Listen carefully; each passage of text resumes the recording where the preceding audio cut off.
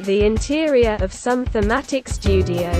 A woman, approximately 35 years old, wearing a pink blouse, dark trousers and black suede ballet flats set on her bare feet. In the video we see a sitting position, where alternately one leg is folded over the other.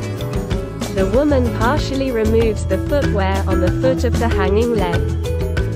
Scientists have developed a cyanobacteria-based battery that powered a computer for six months. Researchers in the UK have used a widespread species of cyanobacteria to power a computer. Their system has the potential to become a cheap and renewable way to power small electrical devices. In the tests, the cyanobacteria provided energy to a computer for six months, which during that time calculated the sum of consecutive integers to simulate working under load. In a container slightly larger than an AA battery, made of aluminum and plastic. Scientists from the University of Cambridge in Great Britain placed Synechocystis cyanobacteria, which naturally obtains solar energy through photosynthesis. The small electric current they generated was used to power the microprocessor for six months. The device description and test results were published in Energy and Environmental Science. The project being developed by researchers from Cambridge aims to provide a new power option for small electronic devices. Constant development and rapid technological progress in recent years mean that more and more power is needed. Batteries are good, but they have their limits. In addition, they not only increase the weight of the device, but also require expensive and toxic substances. Therefore, the researchers thought about creating a living energy source that converts material available in nature into an ecological and simple energy cell. The system they developed is made of readily available and inexpensive materials that are largely recyclable. This means that it can be easily replicated to power a large number of small devices as part of, for example, the Internet of Things. Researchers say it will probably be most useful in places where there is no network access. The evolving Internet of Things needs more and more energy. And we believe that this will need to come from systems that can generate energy. Not simply store it like batteries, said Professor Christopher Howe from Cambridge University's Department of Biochemistry, co-author of the paper. Our photosynthetic device doesn't run out like a battery because it constantly uses light as its energy source, he added. Cyanobacteria do not need feeding. Because they produce food in the process of photosynthesis. It is enough to provide them with the right conditions, and they will generate energy without supplementing nutrients which is why the developed photosynthetic device does not run out of energy, because it draws energy from sunlight. A cyanobacteria-based installation was able to provide power to a computer for six months. The system worked in home conditions, in natural light. He was also exposed to household temperature fluctuations. Cyanobacteria allowed the computer to run in cycles of 45 minutes on and then 15 minutes on standby. However, the computer did not perform complex actions. It calculated the sum of consecutive integers to simulate computational work. The system consumes 0.3 microwatts of power during operation and 0.24 during standby under ideal laboratory conditions. The AA battery-sized version of the cell managed to produce just over 4 microwatts. But the team believes they can squeeze more out of cyanobacteria. We were impressed with how consistently the system worked over a long period of time. At first we thought it might stop after a few weeks.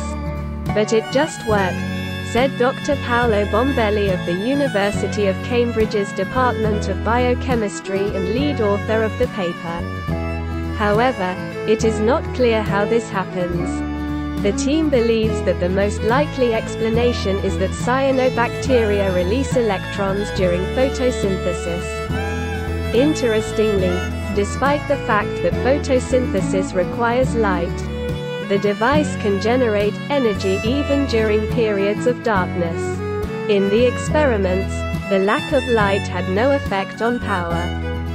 This one was stable both day and night. Scientists believe this may be because cyanobacteria process some of their food once the sun has gone down and there is no light, and this still generates electricity. Such a cyanobacteria battery is not enough to power a home yet.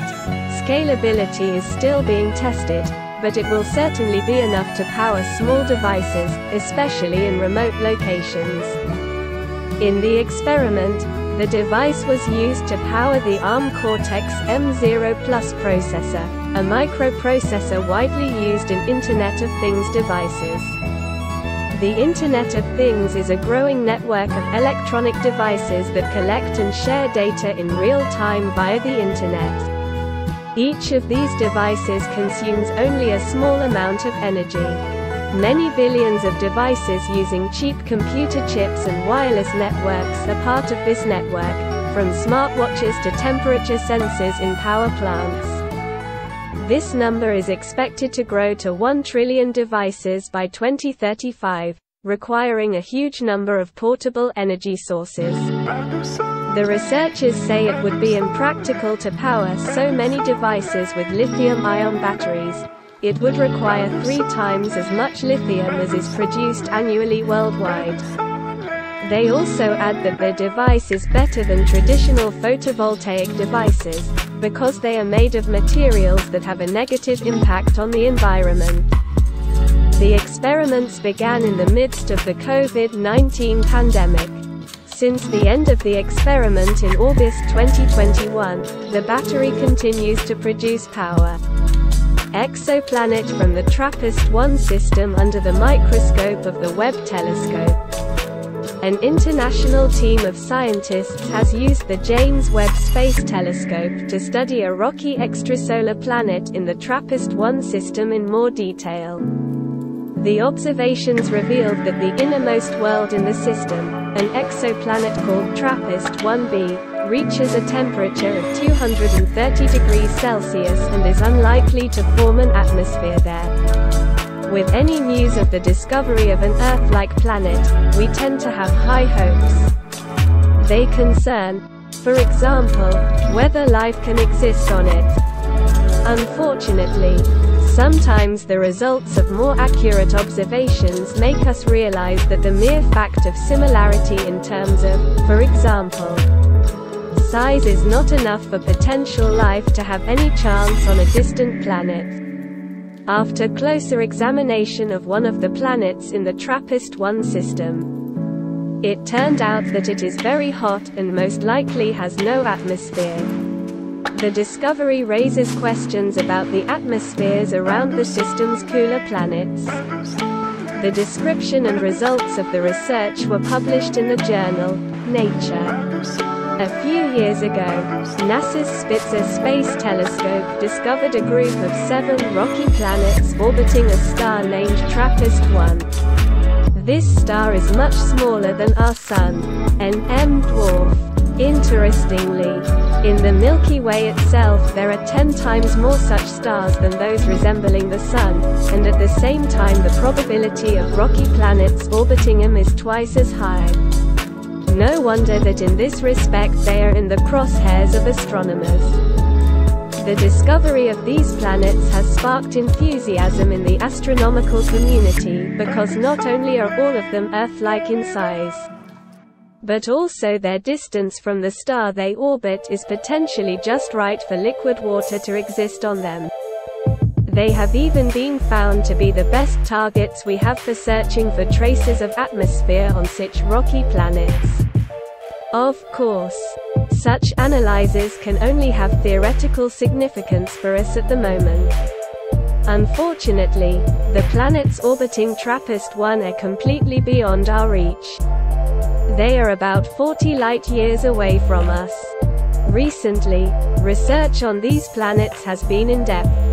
And this is the case with the James Webb Space Telescope, which took a closer look at one of them, TRAPPIST-1b. Of particular interest to scientists was the temperature prevailing on it, which particularly determines whether and to what extent it is potentially habitable. Using an infrared camera, it was decided to look at the thermal emission of the analyzed planet. However, before we get to the planet, a few more words about the star. Well, this type of dwarfs are much more active than our Sun and emit high-energy radiation, dangerous not only to potential life on planets, but even to their atmospheres. And, unfortunately, in the context of TRAPPIST-1b, there is no good news. A human on the surface of such a planet would simply boil. It turns out that the temperature prevailing on it would effectively prevent the existence of any life, unless somewhere in the cosmos there are some forms of it that prefer such extreme conditions. The temperature on the planet reaches as much as 232 degrees Celsius. But that's not all. Apparently TRAPPIST-1b has no atmosphere at all. Moreover, half of this planet is constantly turned towards the star, while the other half is drowning in darkness. How can tardigrades survive without water? Researchers have discovered the secret to their success. Water is a key ingredient for life on Earth. However, there are creatures that can do without it even for decades. We are talking about tardigrades. Scientists have finally discovered a trick these microscopic animals use to survive years of extreme dehydration. Tardigrades have been delighting with their ability to survive for years. They cope with various, extremely difficult conditions, often fatal to most other forms of life. It is conceivable that by learning their secrets, we can apply this knowledge to ourselves to make people more resistant to extreme temperatures, pressure, and even dehydration. For now, it's just science fiction. But scientists are still trying to understand the mechanisms responsible for their resilience, as it may have other benefits as well. These tiny creatures, up to a millimeter in length, live almost everywhere, but they prefer aquatic environments. For this reason, they are sometimes called water bears. They can withstand pressure greater than that found in the deepest part of the ocean. They tolerate high levels of ionizing radiation, exposure to all sorts of chemicals, and are the only life form we know of to have survived in space. They can also go without water for decades. Scientists have just described a mechanism that explains how these creatures can withstand extreme dehydration. While water is an essential ingredient for all life as we know it, some tardigrades can potentially survive for decades without water. The trick is how their cells deal with this stress during the dehydration process, explains Takakazu Kunieda, a biologist at the University of Tokyo. New research on the amazing properties of tardigrades has been published in PLOS Biology. When these aquatic animals are in a dry environment, they shrink and take on a round shape. In this form, they become extremely stable and can withstand many extremes, including exposure to the vacuum of space. Scientists believe that when the water leaves the cell, some type of protein must help it maintain its physical strength so it doesn't collapse in on itself, explains Kunieda. So the researchers tested a group of tardigrades known for their ability to survive without water. In total, they identified 336 proteins that could be responsible for this phenomenon. After testing several different types, the researchers found that CAHS, cytoplasmic abundant heat-soluble proteins, unique to tardigrades, are responsible for protecting their cells from dehydration. Using experiments on human and insect cells, The researchers were able to show that CAHS proteins increase cell stiffness, helping them to resist shrinking due to water loss.